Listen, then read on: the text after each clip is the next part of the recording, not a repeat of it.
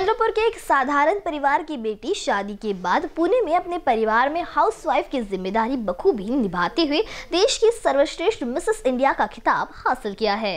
चंद्रपुर की बेटी शिल्पा आराम ने अपने मायके चंद्रपुर में आने के बाद अपने संघर्ष की कहानी मीट द प्रेस कार्यक्रम में बताते हुए अपने ख्वाबों को कैसे हासिल किया जा सकता है, दृढ़ निश्चय और परिवार का साथ मिला तो महिला असंभव भी संभव कर सकती है, ऐसा शिल्पा ने कहा। अंतर्राष्ट्रीय महिला दिन की पूर्व संध्या पर चंद्रपुर श्रमिक पत्रकार संघ द्वारा आयोजित मीट द प्रेस में शिल्पा ने अपनी सफलता के राज बताए देश में मिसेस इंडिया खिताब जीतने के बाद शिल्पा अब अमेरिका में होने वाली 2022 के मिसेस वर्ल्ड स्पर्धा में भारत का नेतृत्व करने वाली है, जो चंद्रपुर के लिए गौरव की बात है। दो बेटी की माँ शिल्पा ने एक हाउसवाइफ की ज़िम्मेदारी निभाते हुए अपने अंदर के टैलेंट को कभी खत्म नहीं होने दिया।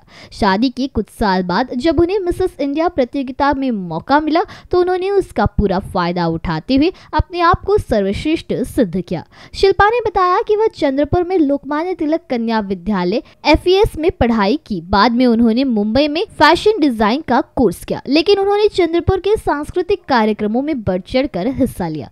मिसेस इंडिया प्रतियोगिता में ढाई तीन हज़ार स्पर्धकों में पचपन का सिलेक्शन हुआ। उनमें पंद्रह और पाँच में स्पर्धा होकर सफलता हासिल की और चंद्रपुर और ससुराल सोलापुर का नाम रोशन किया। प्रेस द मीट कार्यक्रम की अध्यक्षता श्रमिक पत्रकार संघ के अध्यक्ष मजहर अली, शिल्पा के पिता अरुण चिंतलवार पत्रकार संघ के सचिव बायू रामटे की उपस्थित थे। पत्रकार संघ के उपाध्यक्ष प्रशांत विघ्नेश्वर ने संचालन और आभार प्रकट किया। कार्यक्रम में पत्रकार बड़ी संख्या में उपस्थित थे। दांडिया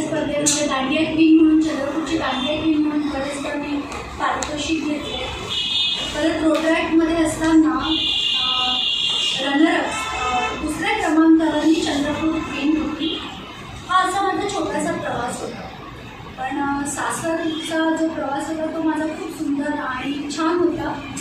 आणि सडनली हे सर्व सासरी पण मी नेहमीच ॲक्टिव्ह होती. कारण की सासरचे मला नेहमीच प्रोत्साहित प्रोत्साहन द्यायचे. माझे मिस्टर मला प्रोत्साहन द्यायचे. कशात ना कशात ॲक्टिव्हिटीजमध्ये ऑलवेज राहायची मी. आणि